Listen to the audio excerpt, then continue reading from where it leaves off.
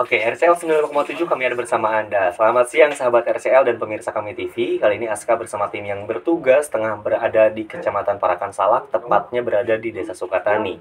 Dan juga Aska kali ini tengah datang ke satu tempat yang memang datang-datang teh sengit melenghir gitu sahabat RCL ya. Ada wangi-wangi sesuatu sahabat RCL karena kali ini kita akan berbincang bersama salah satu UMKM dan IKM yang berada di Desa Sukatani, Kecamatan Parakan Salak. Dan sudah bersama Aska adalah Bapak Ateng. Ya, Bapak Ateng ya. Iya. Oke, Assalamualaikum Pak Ateng. Waalaikumsalam. Waduh, sahabat RCL Pak Ateng ini adalah salah satu pemilik dari eh, produk IKM UMKM yang berada di Desa Sukatani, Kecamatan Parakan Salak. Pak Ateng, boleh dong dijelaskan sedikit, Bapak ini bergerak di bidang usaha apa sih Pak? Di bidang keripik singkong. Keripik singkong ya Pak ya? Iya. Wah, keripik singkong nih sahabat RCL. Keripik singkong ini salah satu komoditi khas yang memang juga sering banyak ditemui di Kabupaten Sukabumi. Tapi yang pasti mungkin Pak Ateng ini punya keripik singkong yang beda. Pak Ateng, sebelum kita ngebahas tentang keripik singkongnya atau produknya sendiri, Pak Ateng, sejak kapan sih Pak ngejalanin atau menjalani usaha di bidang keripik singkong ini Pak? Dari tahun 1998 eh 9 9 99 99. Iya. Dari 99 tuh udah mulai Udah. bisnis keripik singkong, Iya. Pak. Wow, udah hampir 27 tahun, Pak. Iya. Wow, kenapa sih Pak memilih keripik singkong sebagai bisnis utama Bapak, sebagai komoditi yang Bapak miliki, sebagai produk yang Bapak jual hari ini? Pak? Kenapa keripik singkong gitu Pak? Ini karena kan di sini kan wilayah daerahnya ke- kebanyakan petani petani singkong. Mhm. Makanya kita kebanyakan wah ini singkong dibawa ke kota terus nih. Iya, betul, Kita betul. istilahnya kita manfaatin gitu, apa alangkah baiknya gimana kita bikin kerajinan tangan gitu. Oke, berarti akhirnya karena memang juga merasa apa ya sayang banget nih singkong di Iya. Sukatani kebanyakan dilempar ke kota. Iya. Kenapa nggak dimanfaatkan di wilayah sendiri dulu berarti Pak ya? Iya. Wah, luar biasa. Pak dari 99 sampai hari ini 2024 hampir 27 ke 28 tahun berarti Pak bergerak di bidang industri rumahan berarti Pak ya untuk keripik singkong Pak.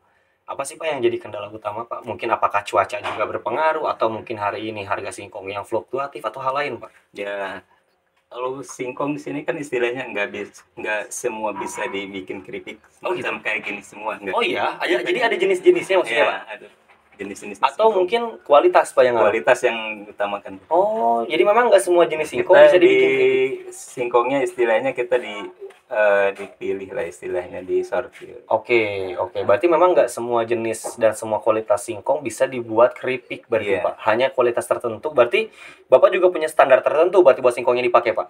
Bisa. Ya. Wah, keren, keren, keren.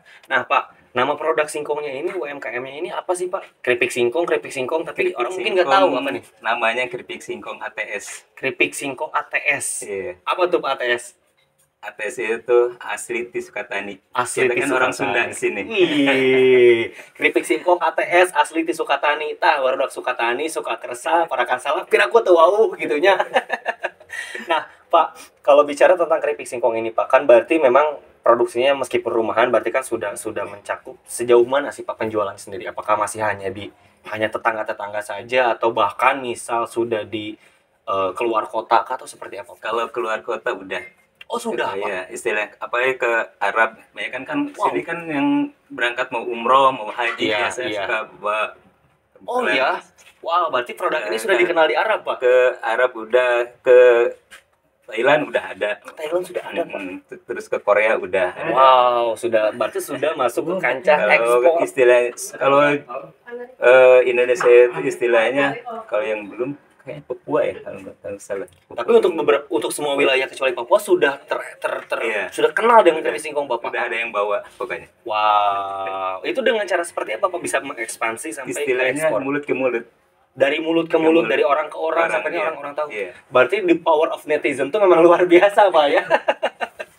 nah, Pak, keripik singkong ATS dari 99 sampai 2024 sudah eh, sampai beberapa wilayah se-Asia bisa dikatakan sudah hampir mengenal. Pak, kalau untuk produksinya sendiri apakah memang juga sudah ada karyawan khusus atau memang juga kayak istilahnya tetangga ini belum punya kerjaan, udahlah kita ajakin bantu seperti apa Pak untuk karyawan Nah, sendiri? kalau karyawan sini saya udah yang khusus buat eh, tenaga kerja buat lakinya udah ada Mhm. dua perempuannya ada enam Jadi memang sudah ada karyawan yang memang juga untuk untuk khusus bekerja di sini. Iya. Berarti memang sudah difokuskan untuk Udah bekerja ya Pak ya. iya. Nah Pak kalau bicara tentang si produknya sendiri ini Pak, kalau misalkan harga nih Pak, mungkin kan ini juga spare harga agar masyarakat juga lebih paham dan lebih tahu. Untuk harganya sendiri apakah per kilogram sekian atau per on sekian atau per bungkus sekian gimana Pak? untuk Kita istilahnya jualnya per bungkus. per bungkus ini Iya. dengan dengan sebungkus ini ya Iya, dengan harga tiga puluh ribu dari sini. wow sebanyak ini tiga ribu Iya. wow ini sekilo mah lebih sahabat udah Enggak, berat Kurang. oh kurang dari Oh, sekilo iya. tapi ini banyak banget pak eh, tapi dengan dengan dengan kuantitas atau dengan sebanyak ini hanya tiga ribu aja 30.000. pak wow Ini kalau sekilo kurang. Makanya saya nggak istilahnya kan di sini nggak nggak ditimbang, makanya nggak istilahnya ini sekian sekian sekilo sekian. tapi tidak per kilo per bungkus, bungkus Iya. harganya tiga ribu ya Iya. pak ya wah Kita keren. hitungnya per bungkus. Nah Pak, ngomong-ngomong nih untuk warga masyarakat Kabupaten Sukabumi khususnya sahabat RCL dan pemirsa kami TV yang mungkin juga penasaran dan pengen tahu dengan produk keripik singkong ATS ini bisa datang ke mana atau bisa menghubungi siapa dengan nomor teleponnya berapa? Oh.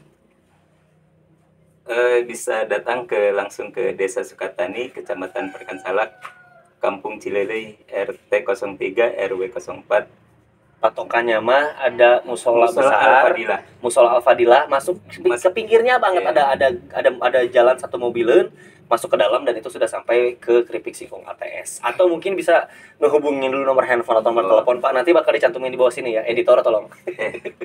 08 12 97 70 6908. atas nama Bapak sendiri Pak Atas berarti oke. Nanti sahabat RCL atau pemirsa kami TV yang penasaran dan pengen lebih tahu lagi tentang keripik singkong ATS bisa langsung aja datang ke Desa Sukatani Kecamatan Parakan Salak di Kampung Cilelei.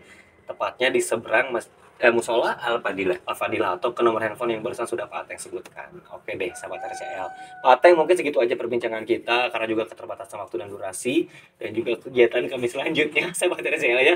Jadi kami undur pamit. Terima kasih banyak Pak Ateng Ya, atas waktunya. Semoga usahanya semakin lancar. Amin. Semoga ke depannya juga semakin banyak warga masyarakat khususnya Kabupaten Sukabumi yang lebih mengenal produk Bapak dan juga sahabat RCL terima kasih banyak sudah menyimak. Jangan lupa beli keripik singkong ATS saya Aska Perdana bersama tim yang bertugas mengucapkan terima kasih. Wassalamualaikum warahmatullahi wabarakatuh